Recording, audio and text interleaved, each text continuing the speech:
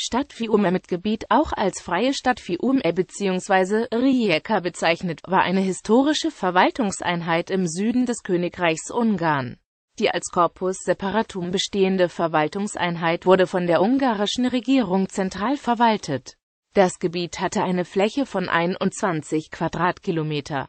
Die Bevölkerungszahl belief sich nach der Volkszählung von 1890 auf 29.494, 1900 schon 38.955 und 1910 dann 49.806.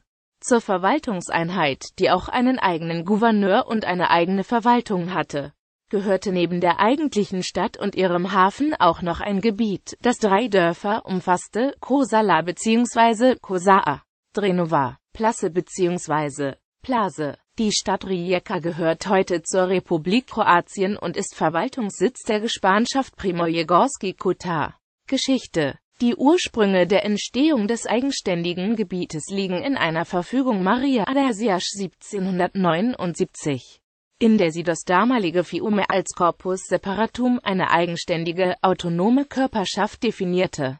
Damit wurde die Stadt direkt der Habsburger Krone unterstellt.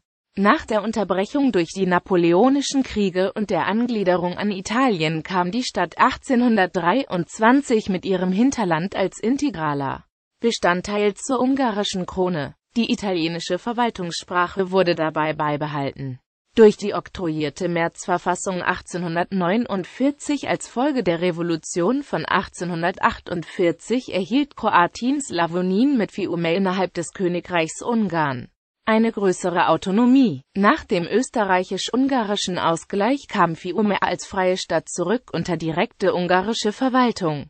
Der Status war jedoch im Hinblick auf den ungarisch-kroatischen Ausgleich nicht geklärt zwar wurde der Ausgleich von den Ungarn abgeändert und die Stadt, der Hafen und die Umgebung vom Gebiet Kroatiens getrennt und unmittelbar der ungarischen Krone unterstellt.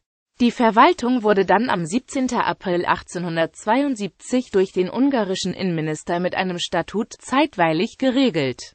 Dieses Statut konnte nur durch die aus 56 Mitgliedern bestehende und auf sechs Jahre gewählte Repräsentanza geändert werden diese Vertretung wählte den Bürgermeister, während der die ungarische Regierung vertretende Gouverneur auf Vorschlag des Ministerpräsidenten vom König direkt ernannt wurde. Diese Autonomie kam einer Selbstverwaltung eines Munizipiums gleich. Diese Autonomie wurde 1907 geschwächt und schließlich 1913 außer Kraft gesetzt. Der provisorische Status blieb jedoch bis zum Ende der Monarchie bestehen 1919 wurden die Stadt und das Gebiet noch während der Friedensverhandlungen von italienischen Freischälern besetzt und in den unabhängigen Freistaat Fiume umgewandelt. Statistiken 1910 gab es in Fiume und Gebiet 2511 Wohnhäuser, 49.806 Einwohner, 36.359 Bewohner, die lesen und schreiben können. 3,2 Kilometer fließendes Gewässer